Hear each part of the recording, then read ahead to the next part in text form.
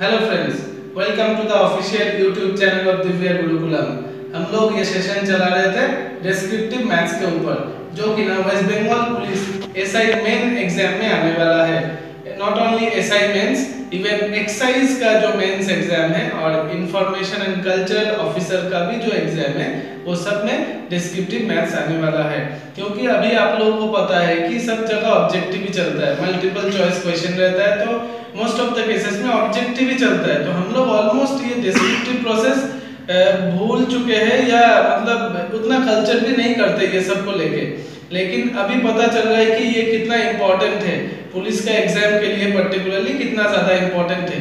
और दिव्य गुरुकुलम का YouTube channel only एक ऐसा चैनल है जहाँ पे आप डिस्क्रिप्टिव मैथ्स सीख पाएँगे जितना हो सके। क्योंकि और कोई यूट्यूब में ऐसा चैनल नहीं है जहाँ पे आप डिस्क्रिप्टिव मैथ्स सीख सकेंगे। तो इसीलिए मेरा अनुरोध रहेगा कि आप लोग इस चैनल को सब्सक्राइब कीजिए लाइक कीजिए शेयर कीजिए, ताकि हम ज़्यादा से ज़्यादा वीडियो आपके पास पहुँचा सके। और जो नोटिफिकेशन बटन है, वो भी आप प्रेस करके रखिए, क्योंकि एग्ज़ाम सामने आ रहा है। जितना जल्दी आपके पास नोटिफिकेशन जाएगा, आप वो वीडियो भी उतना जल्दी देख पाएँगे। चलो, आज तो शुरू करते हैं। आज का हमारा प्रॉब्लम क्या है?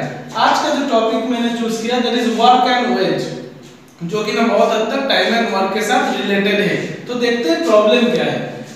A can do a work in 16 days and B in 24 days with the help of C they completed the work in 6 days if the total remuneration for the work is 400 then find the share of each तो ये question बहुत लोग थोड़ा ratio निकाल के अलग-अलग से वैसे करते हैं। लेकिन उससे थोड़ा कॉम्प्लिकेसी बढ़ता है। हम लोग और भी एक इजी कॉन्सेप्ट से इसको डिस्क्रिप्टिव मेथड लेकिन बहुत इजी कॉन्सेप्ट में इसे कर सकते हैं।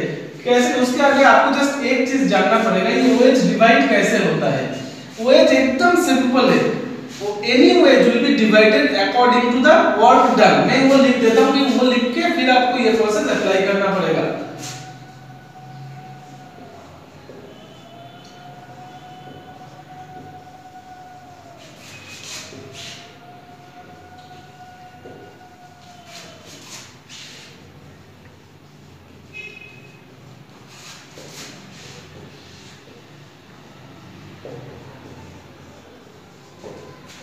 Wage is divided according to the amount of work done. इसका मतलब क्या है? जितना काम करेंगे, आपको उतना वेज मिलेगा। मतलब कोई एक काम का अगर आधा आपने किया तो पूरा वेज का आधा आपको मिलेगा। यही कॉन्सेप्ट हम यहाँ पे लगाएँगे। देखिए, कितना इजीली हम इसको कंप्लीट कर सकते हैं।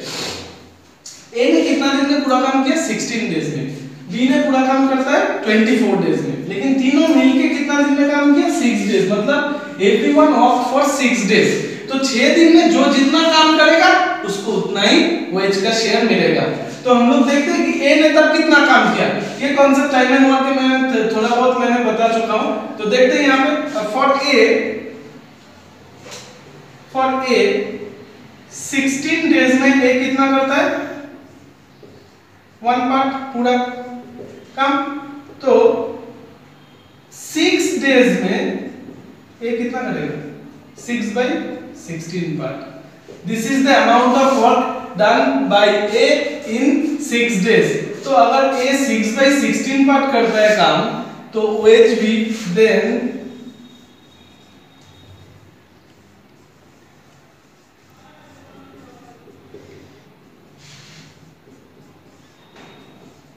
मैंने क्या बोला था, जो जितना काम करेगा उसको उतना ही वेज मिलेगा। ने कितना काम किया? 6 by 16 पार्ट तो ए को भी वेज भी मिलेगा। 6 6 by 16 पार्ट किसका टोटल वेज का? 400 टोटल वेज तो आपको पता है 400 रुपीस है। तो कैंसिल आउट कीजिए। 2 से 3 2 से 8 8 5 से 40 दैट इज़ 150 रुपीस ये निकल गया आपका किसका ए का वेज ठीक है? यहाँ पे आप थोड़ा सा और लिख सकते हैं। For A 16 days work done one part तो 6 days work done 6 by 16 part just उतना सा अब मैं लिख ही देता हूँ। वर्क डन यहाँ पे भी वर्क डन थोड़ा लिख देना है। हो गया ये का। सिमिलरली एकदम सेम कॉन्सेप्ट अभी आप खुद ही हो सके कि कर लिए है बाकी पोर्शन कि बी का कैसे निकालेंगे? सेम कॉन्सेप्ट फॉर बी कितना दिन में? 24 days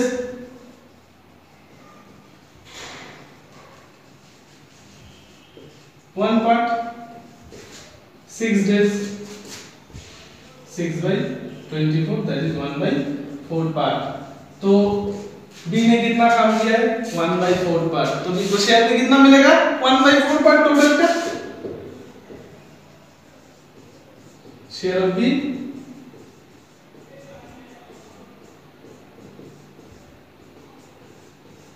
hundred rupees A का भी निकल गया वन फिफ्टी बी का निकल गया हंड्रेड अब बताना पड़ेगा, आप लोग आराम से निकाल सकते हो। सी का कितना होगा टोटल शेयर से ए और बी को माइनस कर देंगे, बस आ जाएगा सी का share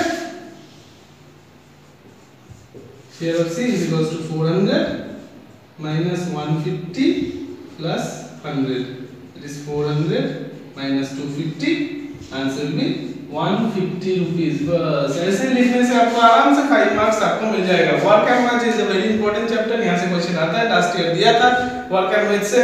इसीलिए मैं फिर से इस क्वेश्चन में फोकस करने के लिए बता रहा हूँ।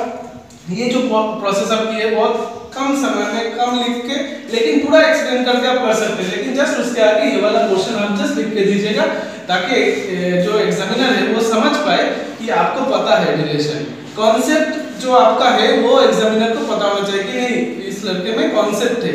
तो इसीलिए वो ये वाला प्रोसेस यूज़ किया है। तो चलिए, आज के लिए इतना ही। फिर से मैं बता देता हूँ डिस्क्रिप्टिव मैथ्स का कोई यूट्यूब चैनल आपको नहीं मिलेगा। This is the only YouTube channel for descriptive mains जो कि ना मैं पर्टिकुलरली एसआई एग्ज़ाम और एक्साइज और कल्चरल एंड इंफॉर्मेशन ऑफिसर के आधार पे किया हूँ। देखता हूँ कितना दूर आप लोगों को हेल्प कर सकता हूँ। बेस्ट ऑफ़ लक अपना फ़िज़िकल ट्रेनिंग चालू रखिए। पाँच तारीख से एडमिट देना शुरू होगा।